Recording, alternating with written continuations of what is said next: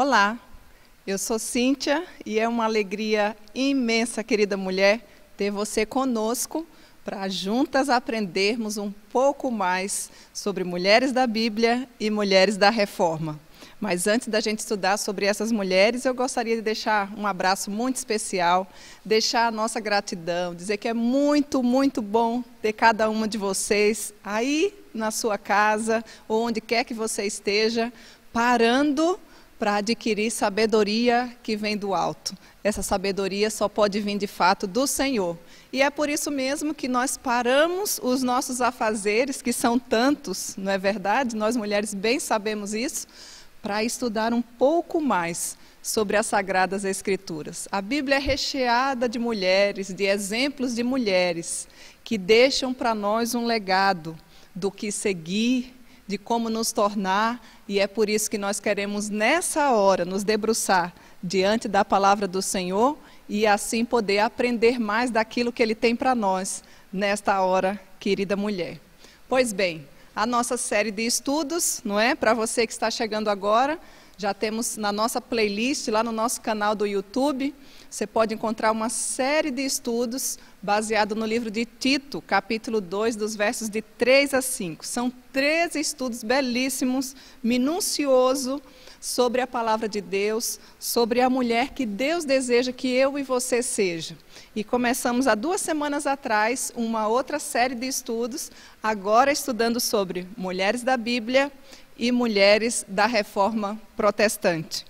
Hoje nós vamos estudar e aprender ou conhecer um pouco mais sobre uma outra mulher que teve a sua, a sua importância na vida da história e da reforma protestante. Sabe quem ela é? Atente aí o seu ouvido, porque hoje nós vamos estudar sobre Anna Reinhard, a esposa de Ulrich Zwinglio. Quem foi essa mulher?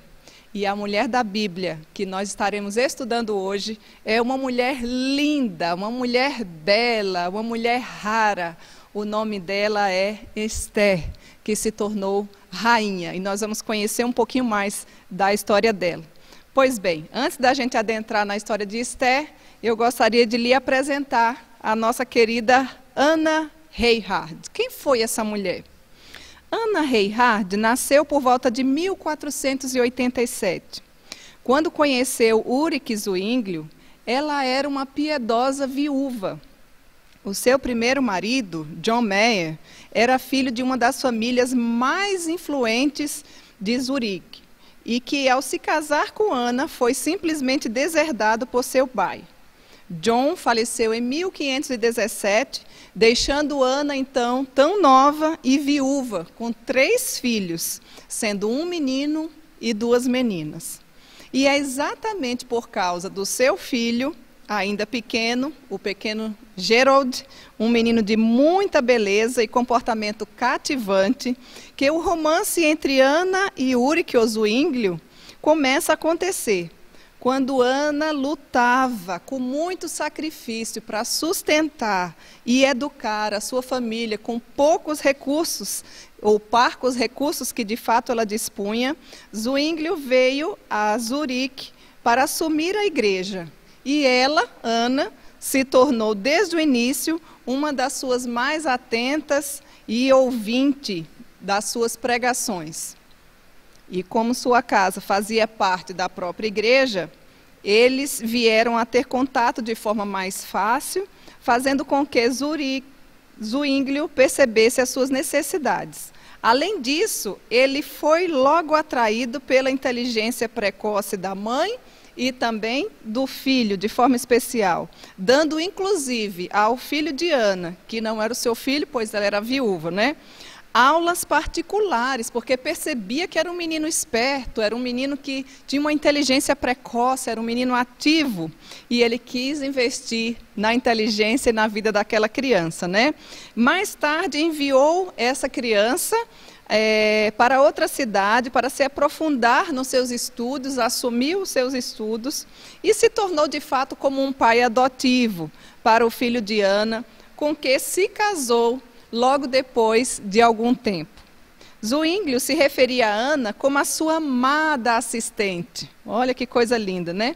Pois ela foi uma esposa muito, mas muito útil e companheira no seu trabalho diário, no seu ministério, se tornando um modelo de esposa de ministro, uma auxiliar idônea, uma verdadeira mãe adotiva para os pobres da época e um auxílio para todos os doentes que de fato precisava, sendo comparada inclusive a Dorcas. Então Ana era comparada a Dorcas. Por quê?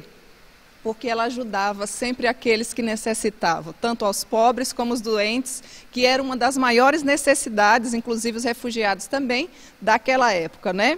E o seu cuidado para com seu esposo, para com Zwinglio, era ainda maior do que a atenção que ela dava à igreja, apesar dela ser destaque na sua época ali em relação ao auxílio que ela dava ao seu querido esposo muito zelosa. Ana era uma mulher muito zelosa e procurava estar sempre ao lado do seu esposo. Mas, se não pudesse, por algum motivo maior, fazê-lo, cuidava fazendo com que ele tivesse ao seu alcance para preservá-lo das coisas que pudesse lhe causar algum dano ou um perigo. O seu zelo colaborou para que muitas tentativas de ataque contra Zuínglio, fosse totalmente frustradas. Ela era uma mulher totalmente antenada, auxiliadora e que fazia de tudo para ter o bem-estar do seu esposo. Caminhava junto com ele, auxiliando e glorificando a Deus como um casal do Senhor. Mesmo muitas vezes preocupada com seu esposo, Ana não deixava de atender a todas as pessoas que chegavam até ela com uma característica singular, uma tamanha alegria. Sua casa estava sempre de portas abertas para receber todos aqueles que chegavam até lá, de forma especial os refugiados da época, administrando inclusive com sabedoria quando seu esposo por algum motivo não estava presente. É tanto que ela foi chamada por um dos seus hóspedes como que esposa anjo de Zwinglio.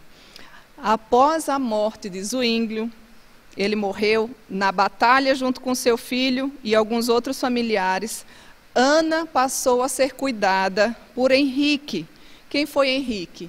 Henrique foi o sucessor da igreja de Zwinglio naquela época, né? Relatos dizem que Ana, depois da morte do seu esposo, raramente saía de casa, exceto para ir à igreja e cuidava do serviço doméstico. Depois disso, algumas doenças foram acometidas e ela pacientemente aguardou pelo Senhor até o dia que de fato veio a falecer. Ana, então, Ana Reihard, serve de exemplo para a minha vida e para a sua vida. Uma grande mulher, esposa de um grande reformador da história protestante. Que o Senhor nos ajude a sermos mulheres de calibre tão significativo como essas mulheres, né, dessa época. Pois bem, agora nós vamos aprender sobre Esther. O que é que você sabe sobre Esther? Esther, a mulher bela, a beleza que vem do Senhor. Quando nós falamos em beleza, parece que tem tudo a ver com mulher, não é? Pois bem, vamos ver qual era a beleza que essa mulher de fato possuía eu gostaria de convidar você para que abrisse aí a palavra do Senhor, ou então ouvisse no próprio livro de Esté, capítulo 2. O livro ele é composto, composto de dez capítulos. Eu convido você a ler com mais tranquilidade. é uma leitura gostosa, é uma leitura prática, é uma leitura emocionante. Ler o livro de Esté e perceber a soberania de Deus em cada detalhe na vida dessa querida mulher. Por conta do nosso tempo, nós vamos ler apenas a parte que fala quando ela se tornou rainha, tá bom? Então, abra aí, por gentileza, Esté capítulo 2, onde nós vamos fazer a leitura de quase todo o capítulo, para que você possa compreender um pouquinho do que aconteceu nessa narrativa. Nos diz assim a palavra do Senhor. Passadas estas coisas, e apaziguado já o furor do rei Assuero, lembrou-se de Vasti, e do que ela fizera e do que se tinha decretado contra ela. Então disseram os jovens do rei que lhe serviam: Tragam-se moças para o rei, virgens e de boa aparência e com tamanha formosura.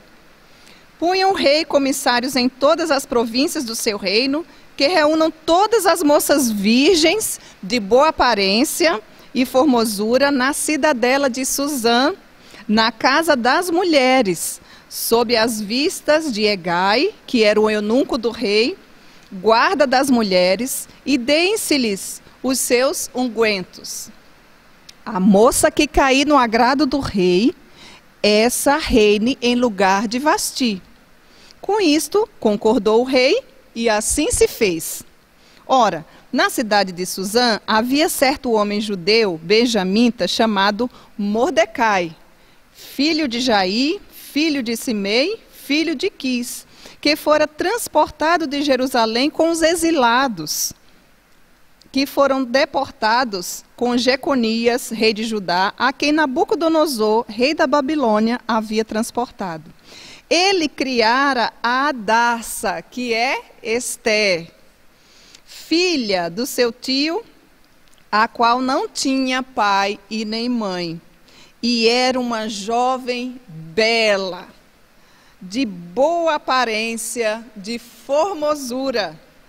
Tendo-lhe morrido o pai e a mãe, Mordecai a tomara por filha. Em se divulgando, pois, o mandato do rei e a sua lei, ao serem ajuntadas muitas moças na cidade de Suzã, sob as vistas de Egai, levaram também Esté à casa do rei, sob os cuidados de Egai, o guarda das mulheres. A moça lhe pareceu formosa e alcançou favor perante ele, pelo que se apressou em dar-lhe logo os ungüentos e os devidos alimentos, como também a mais sete jovens escolhidas da casa do rei, e fez passar com as suas jovens para os melhores aposentos da casa das mulheres. Esté não havia declarado o seu povo e nem a sua linhagem pois Mordecai lhe ordenara que não o declarasse. Passeava Mordecai todos os dias diante dos átrios da casa das mulheres para se informar como passava Esther e do que lhe sucedera. Em chegando o prazo de cada moça vir ao rei Assuero, depois de tratada segundo as prescrições para as mulheres da época, por doze meses porque assim se cumpriam os dias do seu embelezamento. Seis meses com óleo de mirra. Olha, meninas, vocês estão vendo isso aqui? E seis meses com especiarias e com perfumes e ungüentos em uso entre as mulheres, ou seja, um embelezamento de um ano. Então é que vinha a jovem ao rei. A ela se dava o que desejasse para levar consigo da casa das mulheres para a casa do rei. À tarde entrava e pela manhã tornava a segunda casa das mulheres, sob as vistas de Sargás, o eunuco do rei, guarda das concubinas. Não tornava mais ao rei, salvo se o rei desejasse, e aí ela fosse chamada pelo seu nome. Era a única forma de chegar até o rei. Esté, filha de Abiail, tio de Mordecai, que a tomara por filha, quando lhe chegou a vez de ir ao rei, nada pediu, além do que disse Egai, eunuco do rei, guarda das mulheres. E Esté alcançou favor diante de todos quantos haviam. Assim foi levada Esté ao rei Assuero, à casa real, ao décimo mês, que é o mês de Tebete, o sétimo ano do seu reinado. Verso 17 o rei amou a Esté mais do que todas as mulheres. E ela alcançou perante ele favor e benevolência mais do que todas as outras virgens. O rei pôs-lhe na cabeça a coroa real e fez rainha em lugar de Vasti. Então o rei deu um grande banquete a todos os seus príncipes e aos seus servos. Era o banquete de Esther concedeu alívio às províncias e fez presente segundo a generosidade real. Quando pela segunda vez se reuniram as virgens, Mordecai estava sentado à porta do rei. Esther não havia declarado ainda a sua linhagem nem o seu povo, como Mordecai lhe ordenara. porque Esté cumpria o mandato de Mordecai, como de fato quando a criava. Já parou para pensar numa história belíssima como essa? Deu para você perceber um pouquinho e viajar um pouquinho aqui nas páginas das Escrituras e imaginar essa cena magnífica na vida de uma mulher, Radassa, Adassa ou Esther, não é? Que foi totalmente agraciada por Deus e o texto diz que o rei amou a Esther muito mais do que as outras. Então hoje eu gostaria que a gente aprendesse, que a gente refletisse um pouco sobre a beleza de Esther. E quando a gente fala de beleza, talvez você pense assim: de onde vem essa beleza? O que fazer para adquirir essa beleza? Eu gostaria de dizer que a beleza de Esther é a beleza que vem do Senhor. Essa é a real beleza que eu e você, querida mulher, precisamos aprender e perseguir para que de fato nós possamos é, ser agraciadas por Deus e observar o quanto de fato Ele tem nos abençoado e o quanto que Ele quer nos trazer essa beleza que vem dele. É óbvio, né, que o texto relata sobre a beleza física de Esther, mas ela, ela era um, um infinito de belezas. E hoje nós vamos, através desse texto aqui, destacar pelo menos cinco belezas que nós vemos aqui na vida de Esther. Talvez você esteja aí pensando: olha, tá vendo? Tá valendo a pena. Eu estou pagando uma fortuna para ter aquela, aquele embelezamento físico que eu tanto preciso e que eu tanto sonho, não é? Olha aí, Esté ficou um ano, não é verdade? Com as especiarias finas, como de fato eram daquelas mulheres selecionadas para que pudesse se apresentar ao rei. Pois bem, a primeira beleza que eu queria que eu e você atentasse aqui na vida de Esther é a beleza chamada beleza da coragem. Se você não tem como a gente falar da vida de Esther sem antes a gente observar, eu não li aqui o capítulo 1, mas no capítulo 1, verso 19 diz que Vasti não entra jamais na presença do rei Assuero, e o rei deu o reino dela a outra que seja melhor do que ela. A gente poderia até pensar numa, numa história, não é? De conto de fadas, dizendo: era uma vez uma rainha chamada Esther. Ela era a mulher mais formosa do imenso império rei persa do rei Assuero. Essas frases parecem de fato um, um conto, mas a história de Estela é narrada na Bíblia e começa com palavras bem semelhantes. Nos dias de Assuero, que era o rei da época, né? Então, antes da gente falar de Esther, a gente precisa parar um momentinho e falar de Vasti. Porque Vasti, quem era ela? Antes da gente mergulhar na história dela de fato. É, Vasti passa aqui um drama incrível nessa narrativa, que era de uma mulher que era a esposa do rei, era a rainha, chamada Vasti, não é? E o resumo da história diz que Vasti recusou-se a obedecer à ordem que o rei tinha dado, o marido dela. E por isso mesmo foi destituída, foi exonerada da posição de rainha para que fosse encontrada então uma melhor do que ela. Observe, o rei mandou chamar Vasti em um dos seus banquetes e, e Vasti simplesmente disse: Não, não vou não. E o rei, com aquilo, se enfureceu e disse: Como assim? Não vai não? Imagina a vergonha que ele passou diante de tantas pessoas, né, do seu banquete, era costume da época. E aí o rei fala aqui, conforme eu já mencionei, Esté capítulo 1, verso 19, olha, ele, ela não vai mais entrar na presença do rei Assuero, e o rei vai substituí-la por uma mulher melhor do que ela.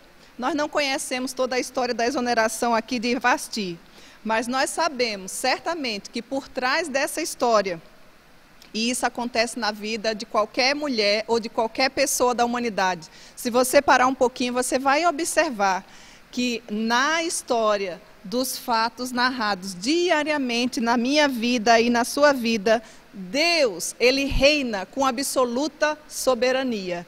Nosso grande tapeceiro vai diariamente ajustando as linhas do grande tapete que é a nossa vida. Alguns dias, algumas linhas muito escuras, mais acinzentadas, mais nubulosas, mais tristes. Outros dias com algumas linhas mais coloridas, mais felizes, mais cheias de vida, não é? Nosso Deus está sempre trabalhando na vida do seu povo.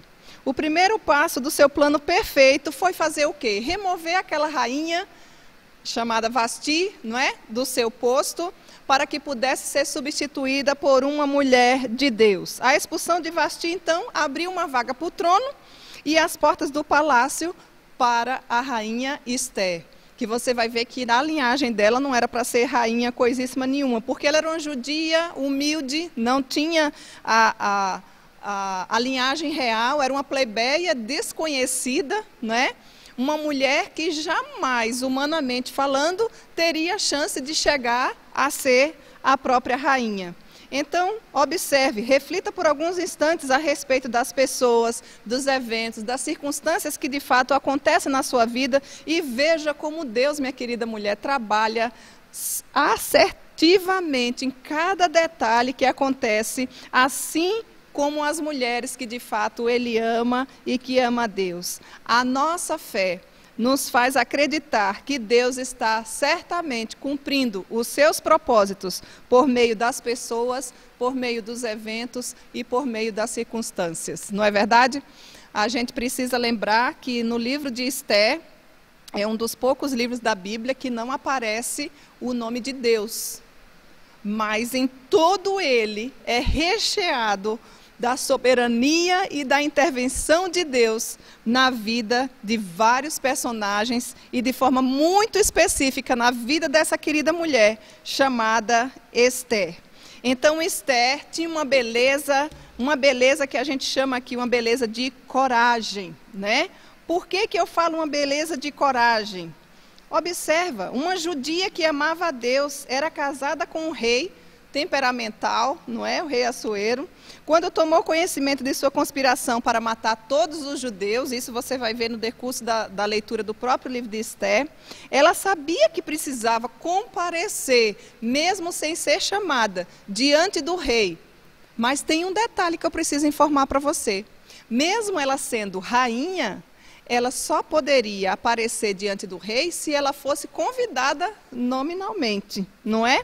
Então, o plano que estabolou pôs em risco a sua própria vida, a ponto dela dizer com tamanha, assim, alto e bom tom, se perecer, eu pereci. Porque o que, que ela pensou? Meu Deus, está tendo um decreto aqui para você que talvez ainda não tenha lido a história. Foi feito um decreto pelo malvado Amã, que era o 02 do rei, era um homem de muita influência também no palácio real para que matasse todos os judeus, todo o povo de Deus. Porque Mordecai, que era o tio de Esther, não se dobrava diante dele, e ele foi procurar saber de que linhagem aquele homem era, e ele foi informado que ele era judeu. E como assim um homem não vai se dobrar diante de mim? Mordecai já tinha um único e suficiente Salvador, que é Jesus Cristo. E esse homem ficou extremamente furioso e decretou, bolou um plano para que de fato todo o povo judeu fosse morto.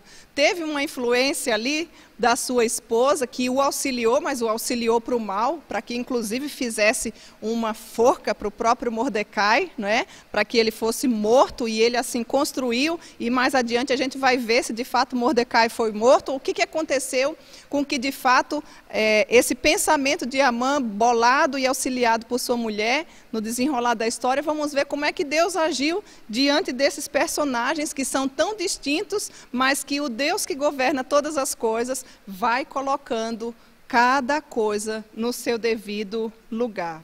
Então, a coragem de Esther, sustentada certamente pela fé que ela tinha em Deus, a fez afirmar com muita ousadia: Eu vou até o rei e vou, de alguma forma, pensar como chegar até ele, para que eu possa, quem sabe, salvar o meu povo.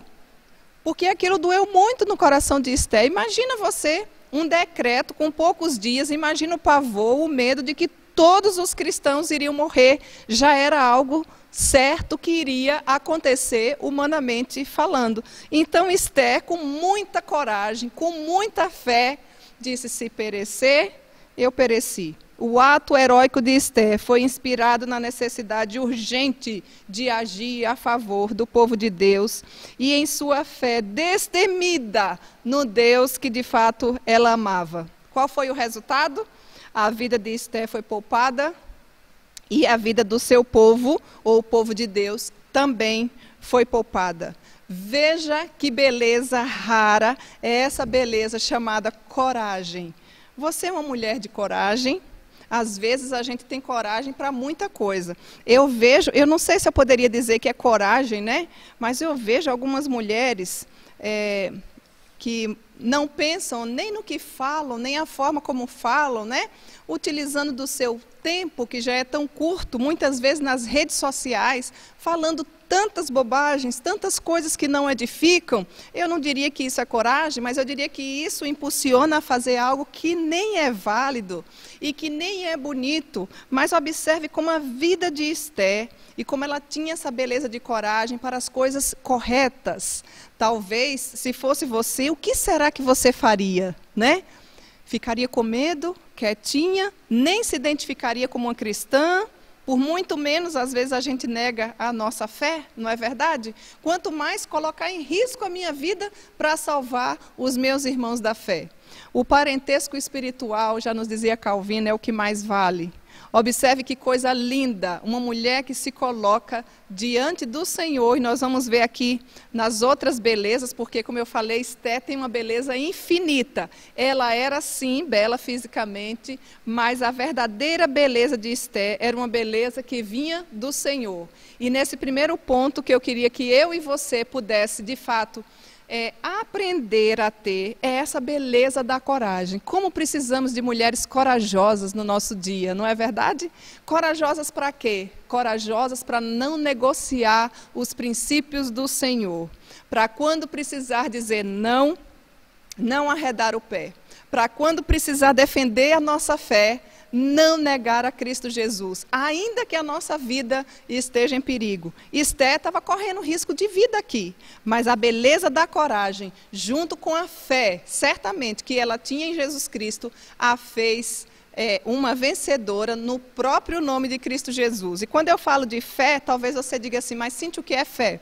A Bíblia diz que fé é a certeza de fatos que se esperam e a convicção de fatos que não se veem. Esther não estava sabendo do resultado, mas ela cria em um Deus que é soberano, que governa todo o universo e que, por mais que esteja desorganizado e um caos, como nós vemos nos dias atuais, o nosso Deus pode colocar a desordem em ordem, porque é Ele que é o dono e o arquiteto de todo o universo.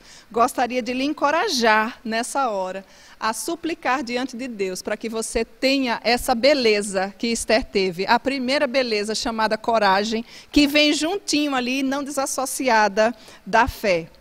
E tem mais alguma beleza aqui na vida de Esther? Sim, tem mais beleza na vida de Esther. Qual que poderia ser essa beleza? E Esté tem várias belezas, mas há uma segunda beleza que nós queremos destacar aqui, que o próprio texto nos traz, é a beleza de ser útil no reino de Deus. Você é uma mulher útil em qual área da sua vida? Às vezes, a gente diz assim, a mulher que nem bombril, né? Mil e uma utilidades, faz muitas coisas, e eu não duvido disso. Eu bem sei. Eu também sou mãe, sou esposa, enfim, não é? Tenho as funções seculares dentro de casa, auxilio o meu esposo em várias áreas também, na, minha, na igreja, no seu trabalho secular, temos a nossa profissão. Mas o que eu quero destacar aqui é a beleza de ser útil no reino de Deus. Observa, observe aí Esté, capítulo 2, verso 17. A Bíblia diz que o rei pôs-lhe na cabeça a coroa real e a fez rainha. Nossa, você consegue imaginar que maravilha? Esse dia deve ter sido tão significativo para Esther. E talvez você possa pensar: nossa, agora pronto, ser rainha não vou mais fazer nada, vou ter servos para fazer tudo para mim. Você está redondamente enganada. O que é necessário fazer para adquirir a beleza de ser útil no reino de Deus? Esther vai nos ensinar. Podemos ter uma ideia através da vida dela. Ela foi de fato uma heroína no Antigo Testamento. O nome dela a gente já falou, né? Radassa.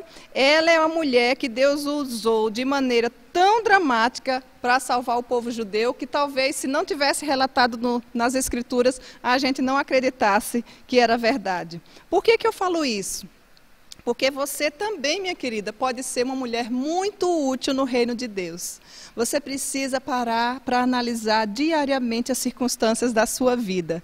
Aí no seu trabalho, no meio da sua família, lá, lá na faculdade, lá dentro da sua casa, com os vizinhos, com os amigos. Como que você tem vivido? O Senhor requer uma beleza de nós, a beleza de ser útil no reino dele. E através da vida de Esther, nós podemos ver isso. Como?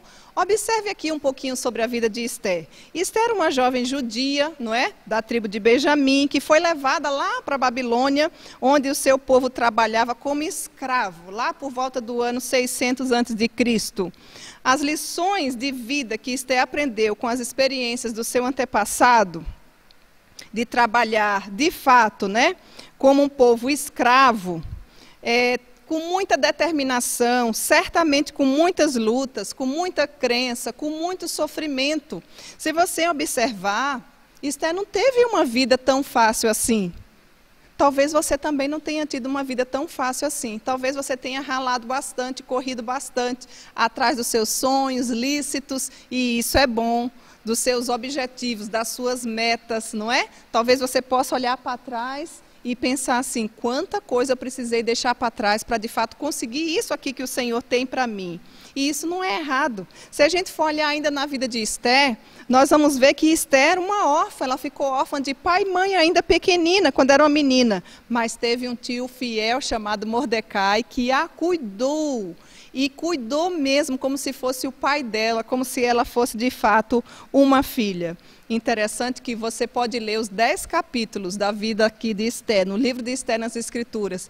E apesar dela ser órfã, minha querida, você não vai ver Esther murmurando, Esther reclamando, Esther cheia de ira, Esther amarga. Talvez você já precise aprender a ser uma mulher mais agradecida, para ser de fato útil no reino de Deus, não é verdade? Esté tinha todos os motivos para dizer: Eu nem pai nem mãe tive. Quem me ensinou? Esté é uma mulher fenomenal, de uma beleza singular, que serve de fato para mim e para você seguir de exemplo. Teve uma tutela, como uma forma eu falei, de Mordecai, eu tenho certeza que se você analisar a sua vida, você também teve bons e excelentes mestres, pessoas que o Senhor colocou na sua vida para que pudesse lhe ajudar em determinados momentos da vida, para que pudesse lhe aconselhar, para que pudesse lhe auxiliar e para que você se tornasse de fato quem você é hoje. Você tem gratidão a essas pessoas? Esté tinha. Esté lembrou de Mordecai. No decorrer da história, a gente vê que ela, inclusive, honrou o seu tio de uma forma bela, a ponto de quando Amã bolou aquele plano esquisito da forca para matar o próprio Mordecai, e um dia, quando o rei, de fato, estava lendo lá em Crônicas e percebeu que Mordecai tinha sido, de fato, um dos homens importantíssimos na vida dele, e ele se questionou: mas não fizeram nada para esse homem? Qual foi a recompensa que ele teve? E aí ele foi, como a Amã era o 02 dele, era um homem muito influente no palácio, ele perguntou para o próprio Amã. Vejam que o que a gente planta, a gente colhe, né? Amã, para alguém que fez um ato né, de muito valor para você, o que será que você queria que fosse feito? Como nós poderíamos recompensar? Amã, muito soberbo, orgulhoso, achou que era com ele que o rei estava se pronunciando. E aí disse: Ah, rei, poderia trazer as vestes reais, o cavalo do rei, e pudesse colocar a coroa, e que essa pessoa pudesse ser contemplada dessa forma. E aí o rei olhou para ele e disse: Boa ideia, vamos fazer isso com Mordecai. Olha como Deus conduz a história. Quem diria que Mordecai iria ser recompensado assim? Minha querida, Deus não se esqueceu de você. Eu não sei por quais situações você passa, quais as situações que deixam o seu coração pequeno, triste, todas nós temos, não é verdade? E coisas que fogem totalmente do nosso controle, muitas vezes nos traz até a falta de esperança, mas traga a esperança da beleza de Esté em poder ser útil no reino de Deus, observando os preceitos da palavra de Deus. Observa como Deus fez. Mordecai foi honrado, honrado pela própria Esther, na, no palácio real, foi morar com ela, teve tudo que o rei de melhor tinha e poderia dar para ele. E ainda aquela forca que o próprio Amã tinha feito para Mordecai, o rei descobriu através dos seus servos, e Mordecai e Amã foi colocado e morto na própria forca que ele mesmo fez. A Bíblia diz que o que a gente planta, a gente colhe. Ninguém planta manga para colher laranja, não é verdade? O que é que você tem plantado na sua vida?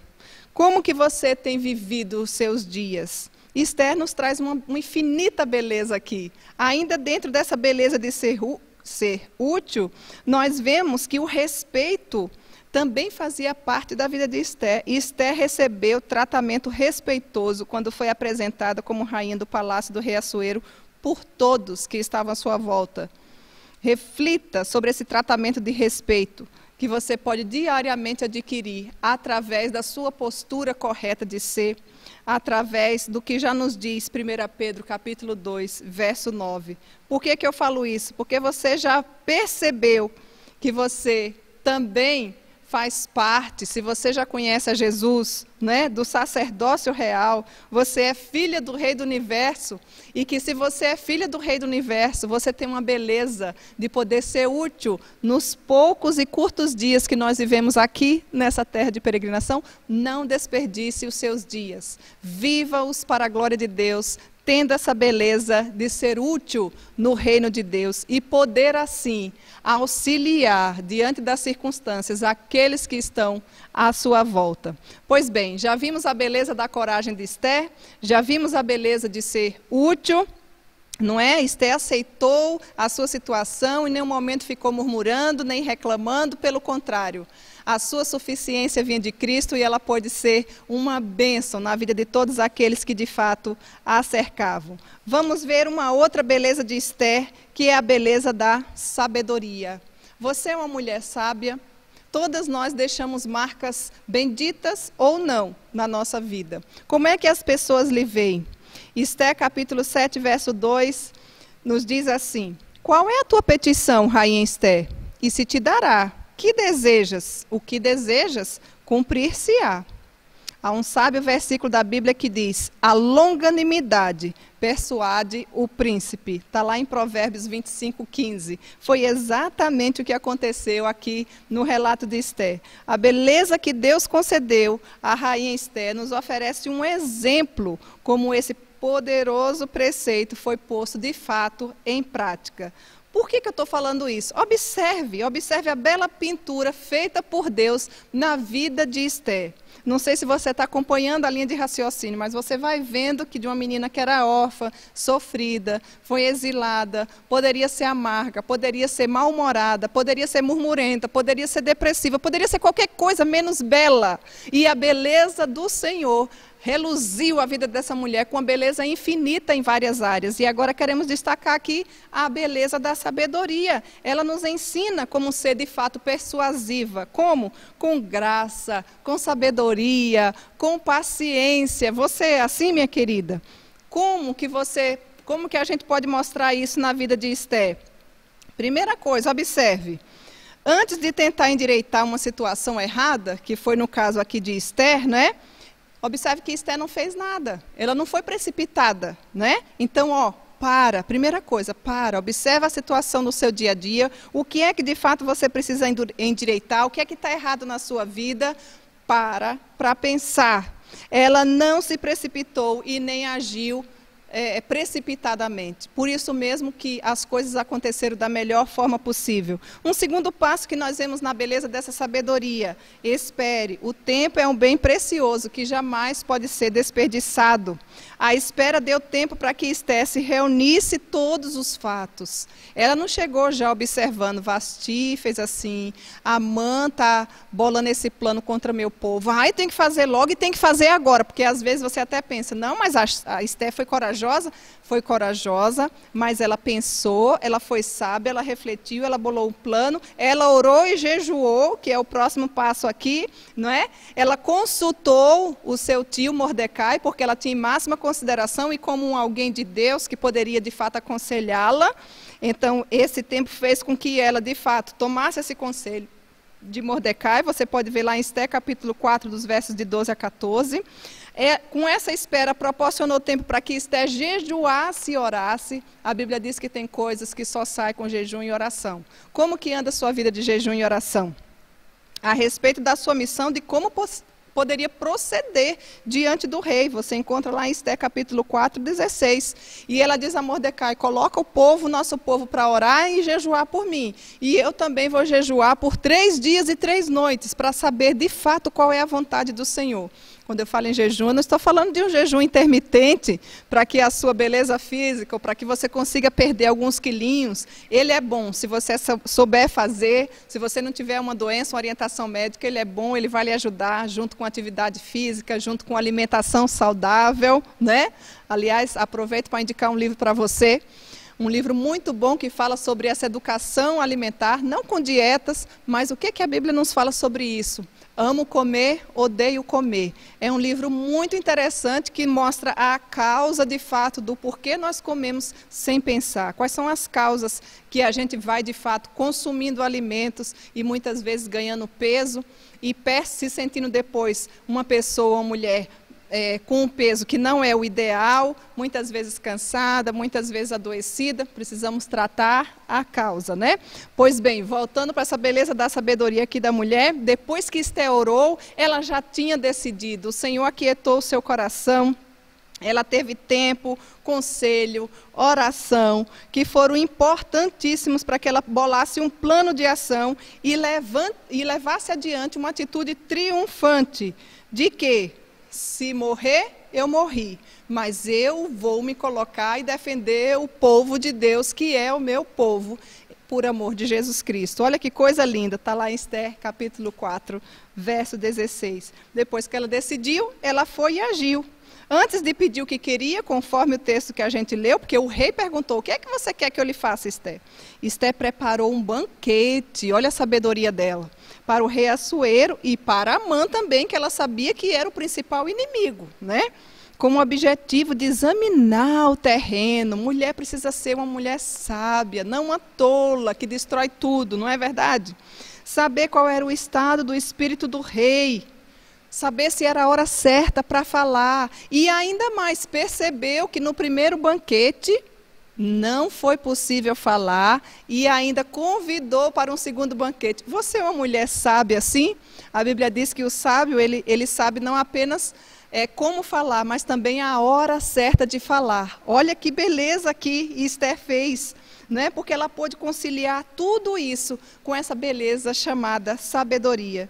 Você também pode seguir os mesmos passos de Esther, eu e você, quando não agimos precipitadamente, quando nós paramos para tomar conselho com pessoas do Senhor que vão nos orientar naquilo que a Bíblia nos diz, no caso dela aqui de Mordecai, quando nós nos debruçamos em oração, quando nós jejuamos, o Senhor é um Deus que está bem pertinho de nós. Então, Esther aqui já nos ensina que, de fato, ela era uma mulher bela fisicamente, mas ela era uma mulher de uma beleza infinita. São muitas belezas de Esther, mas hoje nós já estudamos sobre a beleza da coragem, a beleza de ser útil, a beleza de sabedoria e agora nós vamos estudar um pouquinho sobre a beleza das palavras meigas. Você é uma mulher que sabe falar, minha querida? Como é que você tem falado. Quando você abre a boca para falar, é algo que agrada a Deus, que traz edificação, ou que você afugenta, ou que você traz condenação, ou que você traz tristeza, ou que você traz amargura. O livro de Provérbios nos ensina a longanimidade persuade o príncipe e a língua branda esmaga os ossos. Provérbios capítulo 25, verso 15. Tome nota aí desse versículo. Você descobrirá como foi que Esté agiu com tamanha sabedoria diante de uma crise instalada. Nós estamos passando por um tempo de crise da pandemia, não é? Pois Esté também estava passando. Só que a nossa pandemia, a gente sabe que teremos perdas e já temos visto né, e temos orado para que o Senhor tenha misericórdia da nossa nação, do nosso Brasil e do mundo, não é? Porque fugiu ao nosso controle só Deus para frear essa pandemia, para dar sabedoria para os cientistas, para descobrir a vacina, a medicação, coragem aos profissionais de saúde. Nós temos orado todos os dias pela vida de vocês, né? Daqueles que estão à frente, segurança, bombeiros, forças armadas, autoridades do país. Isso é uma função nossa, nossa que eu falo das mulheres presbiterianas da SAF. Já temos orado há mais de 100 dias consecutivos por cada um desses motivos. A Sinodal Sul do Brasil, pelo qual sou presidente, ora todos os dias às 18 horas, com a média de 50 a 60 mulheres, e também nas madrugadas, com as mulheres da Confederação Nacional de SAFs, que de fato ali em torno de 200, 300 mulheres, da meia-noite até duas horas da manhã, intercedendo ao Senhor para que tenha misericórdia do seu povo, da nossa nação e do nosso mundo. Então a gente observa observa que Esté também estava com uma crise já instalada. Só que lá não iam ser apenas alguns que iam morrer, ia morrer todo o seu povo. Você já parou para pensar nessa situação? Como podemos admirar Esther, não é verdade? Vamos observar como de fato ela fez, quais foram as características dessa sabedoria ou dessa beleza das palavras meigas de Esther, para que eu e você possa aprender no nosso dia a dia, querida. Quais são essas características? Mais importante ainda, né? Quais são é, a, qual é a forma que eu e você tem se portado falando? Não estou perguntando simplesmente se você já conhece a Bíblia, se você já conhece o Senhor. É muito, a forma como você fala revela muito do seu coração. Observe que Esté nos ensina a ter palavras de respeito. Você tem palavras de respeito? Quando Esther dirigiu-se ao seu marido, ela disse assim: observe como foi que ela falou para o marido: Se bem te parecer, se achei favor perante o rei, e farei segundo o que o rei me concede. Esther capítulo 5, você vai ver dos versos 4 até o verso 8. É assim que você tem falado com seu esposo? Não importa se o seu esposo é cristão ou não, o esposo de Esther não era. E olha que, que palavras de respeito, que beleza de palavras meigas essa mulher nos ensina diante de uma crise instalada. Era uma mulher totalmente equilibrada emocionalmente. Você é uma mulher equilibrada emocionalmente? Ou você espatifa logo com tudo, ou você, não porque eu estou nervosa, eu falo, dou a quem doer. Não é esse o padrão do grande orador. Esteja nos ensina. Palavras também de hospitalidade. A graciosa Esté fez um convite meigo ao rei. Venha o rei, hoje é o banquete que eu preparei. Você vai ver isso lá em Esté capítulo 5, verso 4. Olha que palavra meiga e hospitaleira. Quem é que não iria aceitar um convite desse? Não é? Não basta você fazer as coisas. Eu não duvido que você faça muitas coisas. Mas muito mais importante do que você faz é a motivação do porquê você faz e a forma como você fala. Olha que beleza espetacular. Esther nos ensina através das palavras meigas. Nós precisamos aplicar isso no nosso dia a dia, querida mulher. Palavras também, Esther nos ensina de prudência. Observe, ao perceber que o momento não era adequado para o seu pedido, Esther foi sábia e delicada e convidou ao rei para um segundo banquete. Está lá no capítulo 5, verso 8. Então você diz, ai, ainda bem que agora Esther vai falar. Não, mas Esther é muito lerda. Não, Esther não é lerda. Esther é sábia, Esther é meiga, Esther sabe falar, Esther é prudente. Você é uma mulher assim? Que ex, exibe essa beleza das palavras meigas, como tem sido a sua oratória? Será que você não tem ofendido muitas pessoas com a sua forma áspera de falar?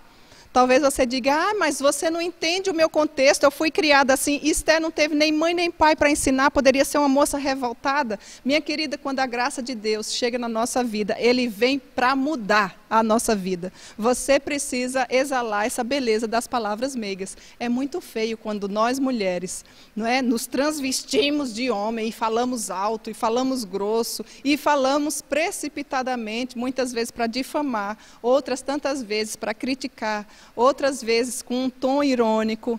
É, Esther não fez em nenhum momento, apesar de ter várias razões, não se pronunciou dessa forma. Esther teve palavras diretas. Quando chegou o momento certo, ela percebeu. Esther pediu corajosamente ao rei: Se bem parecer ao rei, Desse-me por minha petição a minha vida, pelo meu desejo e pelo meu povo. Olha que coisa linda, não era uma mulher egoísta. Ela poderia pensar: ah, não, eu já estou aqui, né? Eu sou a esposa do rei, eu sou a rainha, eu não vou morrer. Ela não pensou apenas nela, ela pensou em todo o seu povo. Queridas mulheres, como precisamos de mulheres assim nos dias de hoje. Que tipo de mulher você tem sido? Talvez você só pense no seu, seu próprio umbigo, nas suas próprias coisas, mesmo se dizendo cristã, mas tão distante das realidades, tão distante das pessoas. A Bíblia diz que nós somos membros de um só corpo. E não existe nenhum membro solto por aí correndo separadamente. É íntegro o corpo cada membro muito bem ajustado, e quando um sofre, todos sofrem, quando um se alegra, todos se alegram. Palavras sucintas, Esté proferiu palavras de respeito, de hospitalidade, de prudência, palavras cuidadosamente escolhidas para se pronunciar para quem de fato ela se reportava. Ela falou apenas o necessário. Se você não sabe o que falar, fale menos. O menos nessa hora é mais. Fale apenas o necessário. Peça ao Senhor para que você fale com diligência, com graça e com prudência. Deus quer nos conceder, assim como a Esther, a beleza das palavras meigas para a minha vida e também para a sua vida. Você está vendo quanta beleza essa mulher tem para de fato nos ensinar? E a última beleza que nós queremos falar é a beleza que de fato vem do Senhor. Falamos sobre a beleza da coragem, a beleza de ser útil no reino, a beleza da sabedoria, tudo isso estetinha. A beleza das palavras meigas e agora a beleza que vem do Senhor. Você pode perguntar, Cíntia, mas de onde vem tanta beleza assim? Às vezes nós conhecemos uma mulher belíssima fisicamente, porque Esté era uma mulher assim, é tanto que ela foi escolhida. O rei ainda não conhecia essa beleza de caráter que vinha dela, de espírito manso e tranquilo, que é de grande valor diante de Deus. O que o rei primeiro viu foi a aparência física, e ela era. E nós conhecemos, eu não tenho dúvida que você pode ser uma mulher maravilhosa e bela fisicamente. Mas muitas vezes, quando abre a boca, quando vai com o seu proceder, quando mostra o seu caráter, tudo se torna muito feio. Deus tem a verdadeira beleza para me dar e para te dar. E aí você pode perguntar, mas de onde vem essa beleza? Eu quero essa beleza, eu quero desesperadamente esse, essa estética espiritual. Eu quero dizer para você que ela vem do Senhor, vem de um coração que se enfeita com uma profunda confiança em Deus. Você confia em Deus?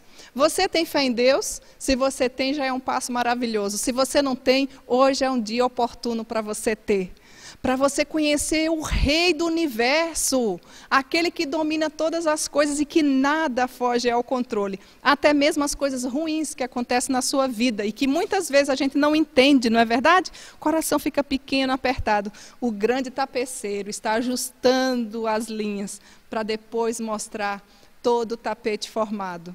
Essa confiança, essa beleza vem de um coração que se enfeita com uma profunda confiança em Deus. Como que eu sei? 1 Pedro capítulo 3, verso 5 nos diz: Pois assim também é que a si mesmo se ataviaram outrora as santas mulheres que esperavam em Deus. E por quem você tem esperado? Em quem você tem confiado? Na sua própria força? Se for, você está perdida. No seu marido? Também não, por melhor que ele seja, por mais cristão que ele seja, a nossa esperança tem que estar na pessoa de Jesus Cristo, minha querida. E aí você pode perguntar, mas e de onde vem mais essa beleza do Senhor que Esté tinha? Eu também quero ter. Me diz, vem do temor ao Senhor. Provérbios 31, capítulo 31, verso 30, já nos ensina: enganosa é a graça, querida mulher, e vã é a formosura, mas aquela que teme ao Senhor, essa será louvada. Esté temia ao Senhor. Por isso foi honrada, porque não há, não há fé que não seja honrada. Como que anda a sua vida diante do Senhor? Não é? Você ainda pode encher o seu coração de esperança, de expectativa e dizer: "Mas eu quero ter essa beleza de Esté, essa beleza que vem do Senhor. Como que eu posso ver?" Já vimos que é quando você confia em Deus, quando você teme a Deus, Esté vinha confiar em Deus, buscava do sustento, do seu sustento em tempos difíceis. Salmo de número 55, verso 22 diz: Confia, querida mulher, os teus cuidados ao Senhor, e ele te susterá. É o Senhor quem nos sustenta. Jamais permitirá que o justo seja abalado. Todos os nossos dias foram escritos e determinados quando nenhum deles havia ainda, e nenhum fio de cabelo cai sem a permissão do Senhor. Você precisa entregar a sua vida a esse Deus maravilhoso. Você vai ser a mulher mais rica e mais bela da sua cidade. Você vai sentir uma alegria no seu coração e uma paz que ninguém pode de fato tirar de você. Essa beleza vem de crer que Deus a fortalecerá, mesmo quando a sua fé for desafiada, inclusive pela morte, for iminente ou seus relacionamentos forem tensos. Filipenses capítulo 4, verso 13 diz: Tudo posso naquele que me fortalece. Procure encontrar essa beleza interna e eterna na pessoa bendita de Jesus Cristo. Observe, beleza interna e eterna na pessoa de Jesus. Essa beleza que vem do Senhor e está sim ao alcance de todas as mulheres. Você, você que está aí nos ouvindo nessa hora, essa beleza pode fazer parte da sua vida. Se você verdadeiramente amar ao Senhor e entregar a sua vida e os seus sonhos a Ele. Procure encontrá-la ao estudar as Escrituras Sagradas e, assim como Esther, encontrar de fato a beleza que vem somente do Senhor.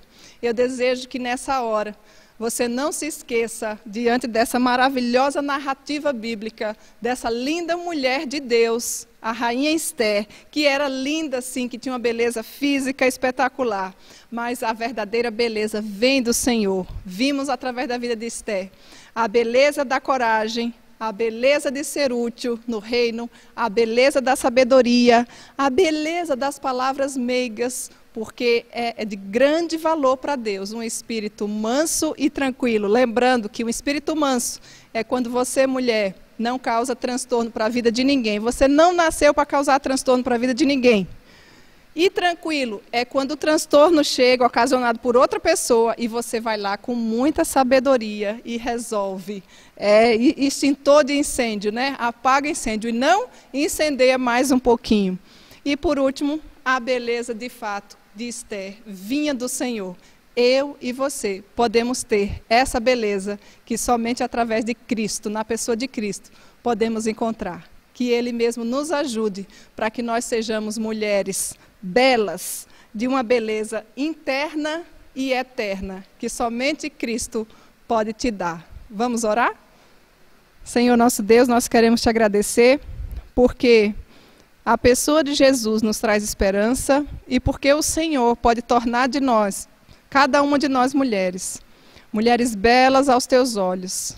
Belas, Senhor, com a verdadeira beleza de coragem, uma beleza de ser útil no teu reino, a beleza de termos a sabedoria no Senhor, a beleza, Senhor, de termos palavras meigas para falar diariamente. E isso só é possível se essa beleza vier da fonte de toda sabedoria, que é o próprio Deus.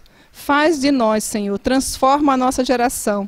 Nós, mulheres, que possamos ser mulheres belas aos teus olhos. Esta é a oração que nós te fazemos, agradecidas por esse maravilhoso relato da vida de Esther e também da mulher da reforma, da nossa querida Ana.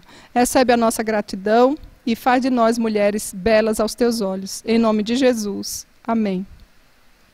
Nós queremos deixar o nosso abraço e antes do nosso abraço, gostaria de deixar a indicação desse livro, Mulheres que Amaram a Deus, da Elizabeth George. Muitas das coisas que foram faladas aqui eu pude tirar né, pinceladamente desse livro. Na verdade, é um livro diário, né? São 365 dias com as mulheres da Bíblia. Você poderá aprender mais e crescer mais com as mulheres da Bíblia. Receba você que está em casa o nosso abraço, você que nos ouve aí de longe, ou até aqui de perto do Rio Grande do Sul, tantos outros estados do nosso amado e querido Brasil o nosso muito obrigado, a nossa gratidão, o nosso abraço. E se Deus nos permitir, na próxima semana, nós estaremos para aprender um pouco mais sobre as mulheres da Bíblia e as mulheres da reforma. Um grande abraço a todas vocês, mulheres do nosso amado Brasil.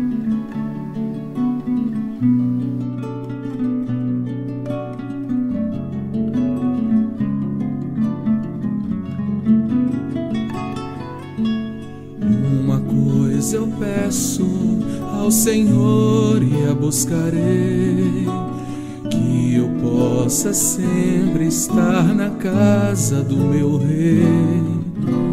Pois não há sentido e a vida perde a razão. Se de Jesus Cristo eu afastar o coração. Sei que é árdua a caminhada, é só não poderei chegar. E por isso eu peço socorro a ti, Senhor, segura minha mão, me ajuda, me ajuda na direção permita que eu me perca loucamente em meus caminhos.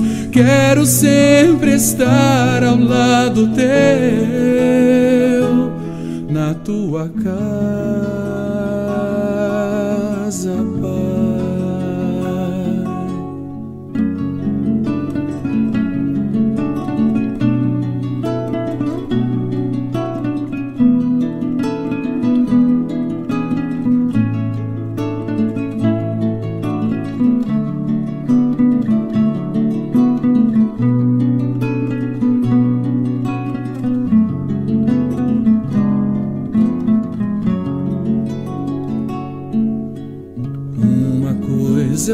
peço ao Senhor e a buscarei, que eu possa sempre estar na casa do meu Rei. Pois não há sentido e a vida perde a razão. Se de Jesus Cristo eu afastar o coração Sei que é árdua a caminhada e só não poderei chegar. E por isso eu peço socorro a ti, Senhor, segura minha mão. Me ajuda, me ajuda na direção permita que eu me perca loucamente em meus caminhos. Quero sempre estar ao lado teu, na tua casa, Pai.